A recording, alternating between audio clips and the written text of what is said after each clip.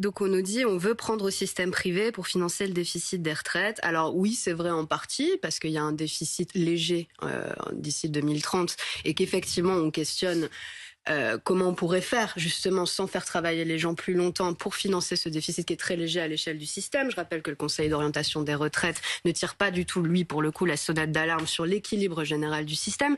Mais ce qui est intéressant, c'est que ce que vous dites pas, c'est que vous allez continuer, vous, à baisser les impôts des entreprises, notamment des grandes entreprises, et que c'est... Qui permet des meilleures euh, rémunérations. Alors, on va y, on va y venir parce que c'est, vous dites, euh, nous, on veut, on veut pas, on veut laisser l'argent des retraites dans les retraites, on veut, on veut pas faire des économies sur le dos des retraites, mais c'est pas ce que dit euh, le budget de l'État 2023 sur, en page 11. Ce qui est marqué, c'est que la poursuite de la politique générale du gouvernement Emmanuel Macron, c'est-à-dire de baisser les prélèvements obligatoires, et là notamment sur les entreprises, va être permise par des réformes structurelles, dont la réforme des retraites. Je traduis ce que je viens de dire qui est un peu compliqué, c'est-à-dire que la baisse, la suppression de la CVAE, la contribution sur la valeur ajoutée, qui est un impôt de production qui va surtout bénéficier aux très grandes entreprises, elle sera financée par tout un tas de réformes structurelles, y compris la réforme des retraites. Donc en fait, vous, c'est pas que vous voulez prendre plus au secteur privé pour plus de justice sociale, c'est que vous voulez continuer à baisser les impôts des grandes entreprises de façon indiscriminée. De façon indiscriminée, puisque dans le budget de l'État, on vous avait proposé des améliorations à la marge. On avait dit on peut envisager pour les PME,